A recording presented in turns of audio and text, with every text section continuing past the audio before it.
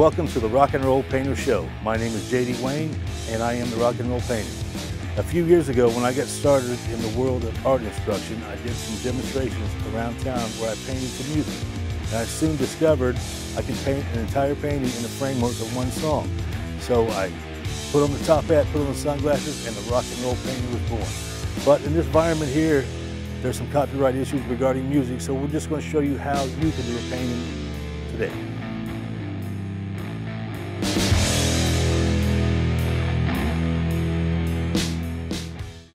Okay, hi, welcome to another episode of the Rock and Roll Painter. We're going to have a fun day today. We got something different going here. Uh, this painting is going to be called Old Boots Never Die. Um, last summer I was out in Sedona, Arizona with some friends, Kathy, Catherine, and uh, Gary, working on some paintings, and Helene, and Brendan, and Kathy, and Cindy, a bunch of us. But we came up with this painting. This is going to be um, some a floral arrangement coming out of this boot. Now what I did at first here, this is all acrylic paint up here, this is dry. I had some yellow ochre, some cad yellow, some titanium white, went up here to get the light source, into some, uh, some cad red medium, some sienna, even some Van Dyke brown. Kind of gives some, some light source. And like I say, this is acrylic. You can paint oil paint over acrylic with no problem. Then with some carbon paper, I took the boot and just drew my boot on here. Okay, with that, let's see what we can do to create this painting. It's called Old Boots Never Die. It's just uh, the illusion of somebody took an old boot and made a planter out of it. Okay, let's start with a little flat brush here. Let's get a little bit of a, little bit of my thinner into some sienna. Get a thin down version of sienna. Let's see if we can create, paint this boot in. Just got a light, light coat of sienna. I want to get this boot kind of painted in. So this is dark sienna, burnt sienna. We're going to come in with some darks and lights and bring this boot to life. I just want to get some color up here, some base color to work with. Just want to be careful uh, to keep it in those lines that we drew for that boot. Most paintings we do, we don't have any kind of template, but we want to keep a good looking shape. And when I do classes, it helps to have a template like that so people can uh, not have to worry about whether they can draw a boot. Get that boot shape down here, some more of this sienna. The heel of that boot. So this was a real fun painting when I created it out there in Sedona. I had a real great time learning to paint some florals out there with Gary and Catherine. And we came up with this painting. Get that sienna going nice and nice and loose. Might give a little bit of color on that heel, even though it's going to be dark, but we'll, we'll go ahead and get some base color on him here.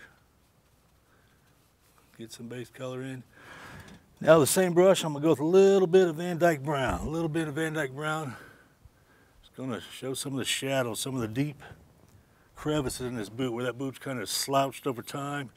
There's some shadowing here, some shadowing there, a little bit of shadowing here. Maybe a little bit along the top edge of that boot.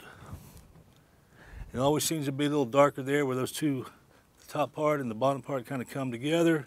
Back here at the heel, since it's out of the light source, it'd be dark and you have some dark shadow along that there. Maybe some more shadow along there. Now we're going to take a, a little mop brush, just kind of break up, just kind of break up some of those hard edges on that kind of break up some of those hard edges. And it, and it also helps give it a little rough, a rough kind of look to it. A rough kind of look. Now we even take a paper towel, kind of crumple up a paper towel, kind of hit this in a couple spots. Now can do more to give a rough, rough look to that old weathered boot. Then I'm gonna take a little, little liner brush, a little bit of black, so I know down in here that there'd be some deep, deep shadows down in here where this is out of the light. Kind of soften that up. Sometimes you can take your best blending brush in the world, sometimes your finger kind of gives a nice soft work to the look to that. And along that main seam there, some dark color, and even this uh, bootstrap. This bootstrap, let's get that bootstrap showing. Kind of blend that in a little bit. Gotta wipe my finger off. Now we need just a little bit of highlight. Well, we need to, I guess we need to get that, me get one more flat brush here. Well, I'll just use a liner brush. We'll use this brush. We need to get that heel colored in. Didn't have my right brush, but we need to get some, some dark color on that heel. The heel of that boot. Maybe that little piece there be shining through there. And then we need some grayish kind of color to show that sole of that boot. So I'll just get my liner brush again, a little bit of black a little bit of white, come up with a grayish kind of color. See if we can show that, show the sole of that boot.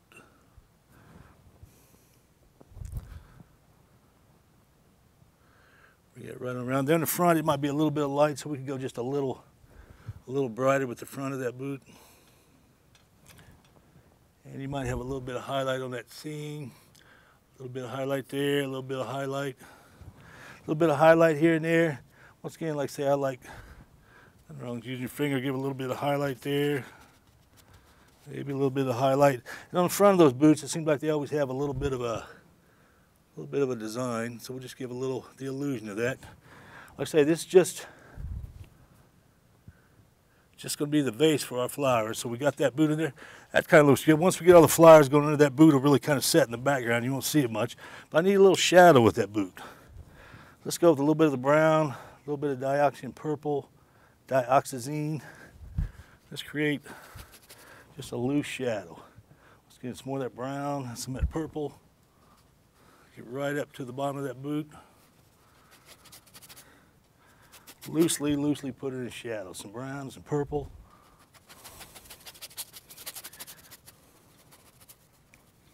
Get a little bit of shadow going there. Like, again, like I said, that best blending brush you ever made was that brush your mama gave you, that blending brush right there. There we got a little bit Sets that boot right on the ground by doing that. Sets that boot on the ground. Let me clean my fingers up, clean my blending brush up. All right, let's see what we can do to create some foliage, some stuff growing out of that boot.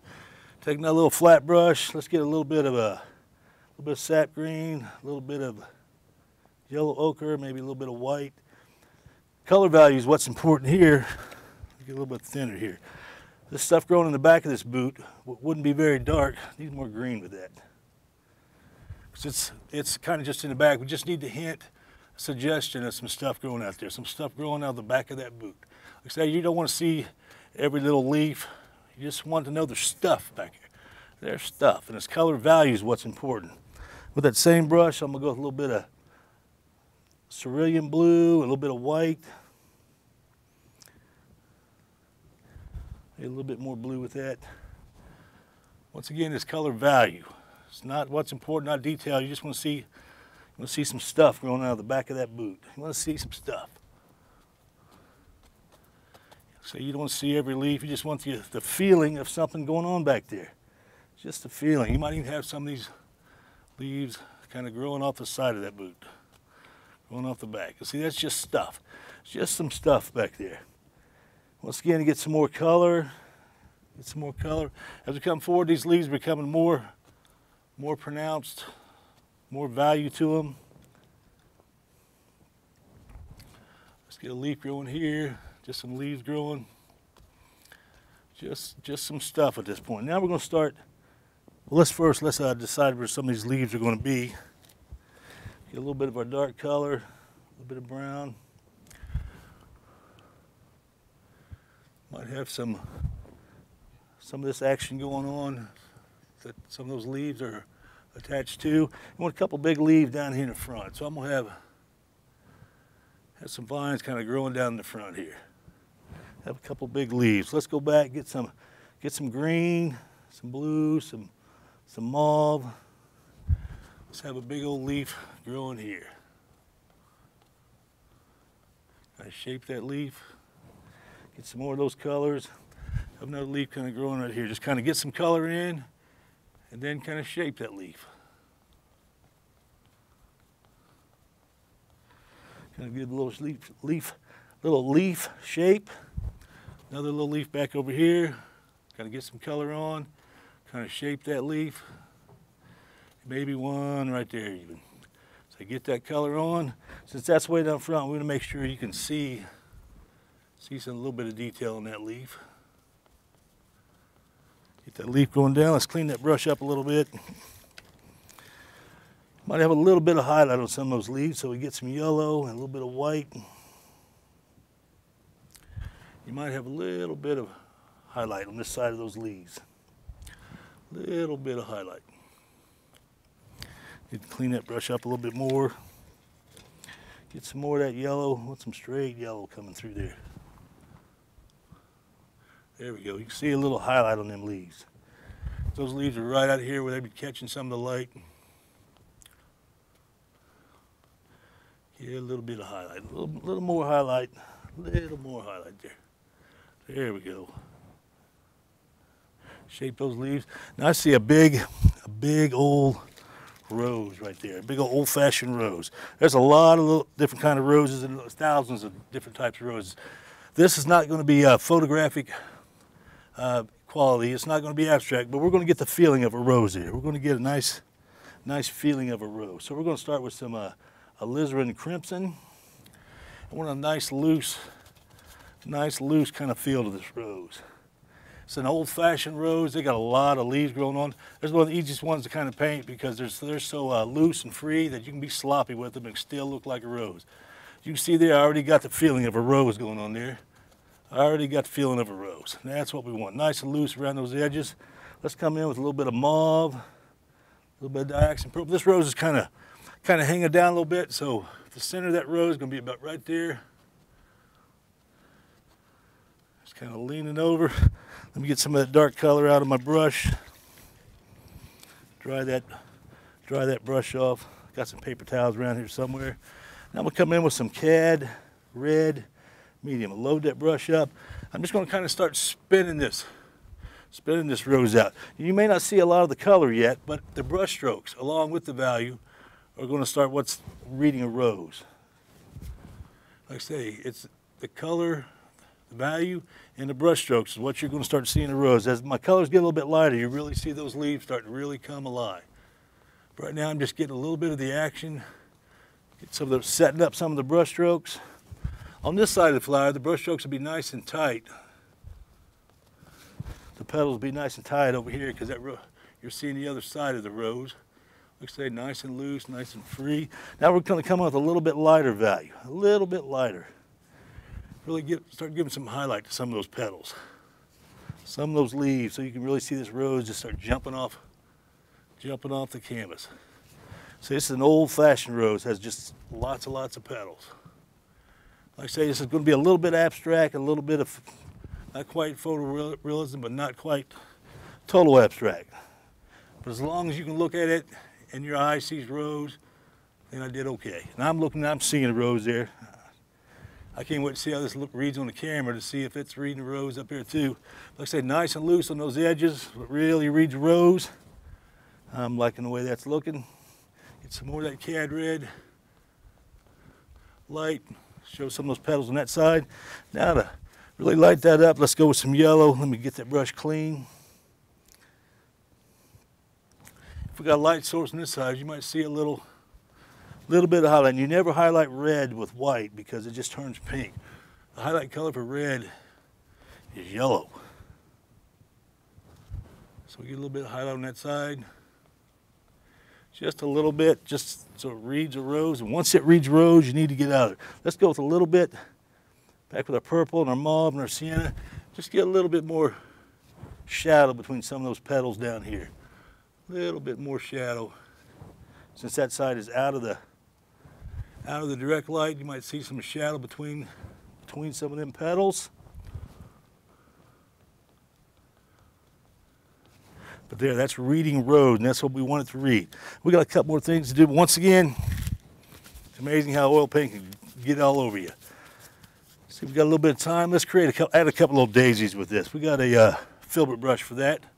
Let's go with a little bit of a, a little bit of cerulean blue and a little bit of white just to give the petals on the other side, you want a little bit of a bluish kind of color. Let's say we got a daisy right here. Say these petals are on the other side, so they're going to end up blue. We're going to put some highlight on the ones in the front of us. Say we got another little daisy right there. Maybe we got one kind of hanging him down from the front. So we'll put a little bit of color right there. Now we need uh, a little bit of yellow, a little bit of red, of the orangish kind of color. I'm gonna put a button inside those daisies. Put a button in there, and a button in there. Now we'll come in with just straight white. And those petals that are closest to you are gonna be white. And the blue ones are gonna be the ones on the other side.